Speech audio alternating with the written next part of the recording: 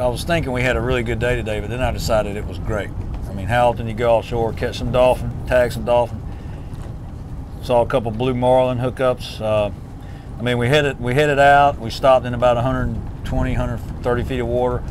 We fished for dolphin, uh, trying to get one to put a satellite tag in. We couldn't find him, but we did put a few spaghetti tags in some fish. Threw a few in the box. Uh, this is one of the lures we're using. It's just an islander. Uh, we were rigging it with ballyhoo. We were also swimming naked ballyhoos. Uh, another bait we use is this uh, machined aluminum cedar plug. Basically, it's just made out of aluminum. It's been really effective with you know the three or four years I've been fishing. I've done real well with dolphin on that plug.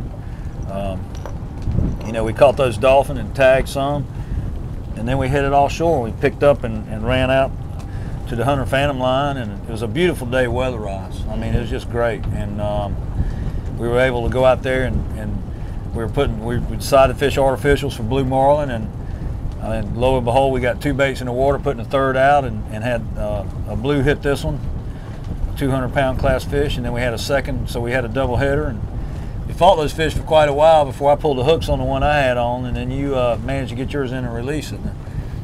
It was it was unbelievable experience. I'd never uh, I've never caught a um, blue marlin before, and um, standing up doing it with this uh, what do you call this the uh, fighting belt. The fighting belt. This thing really helped, um, and it was a heck of a fight. And this, and that last five or six minutes, every few inches were hard to come by because uh, that was one tough fish, and it was one incredibly beautiful fish when we got it upside the boat.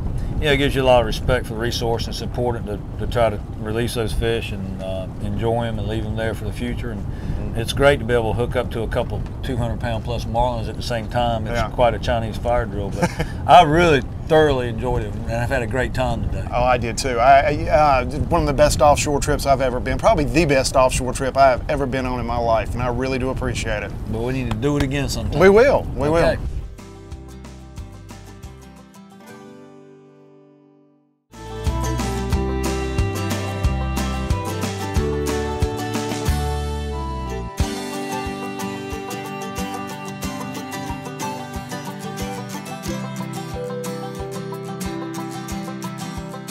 Hi, I'm Joe Albea. And I'm John Moore, inviting you to join us each week as we will explore the fishing possibilities from the mountains to the coast.